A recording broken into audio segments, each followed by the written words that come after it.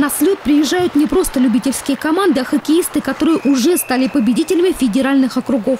Будет представлено 19 российских регионов. Таким образом, впервые состоится юношеское первенство страны по хоккею среди 12, 13 и 14-летних. Это юноши трех возрастных групп, 600 талантливых спортивных ребят. Сегодня тренировалась команда «Нефтехимик» из Татарстана.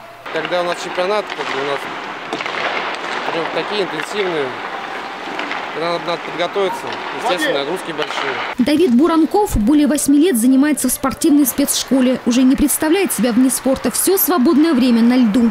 Азарт большой, риска много. Ну, в общем, очень люблю хоккей.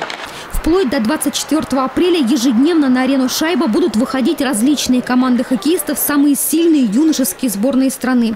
Ребята признаются, борьба будет как в большом хоккее, ведь все турниры посвящены 70-й годовщине Великой Победы.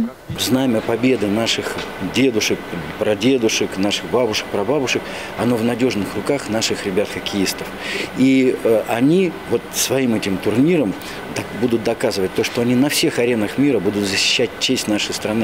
И это знамя победы всегда у них будет в руках.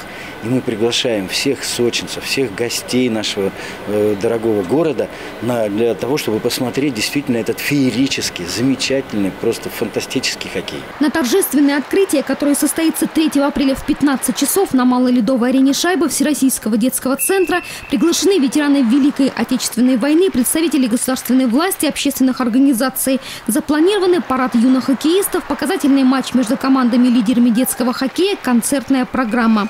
В рамках слета пройдут встречи с легендами отечественного спорта и мастер-классы «Наши первые победы России». Вход для зрителей свободный. Елена Овсецина, Николай Тихонов, телекомпания «ФКТ».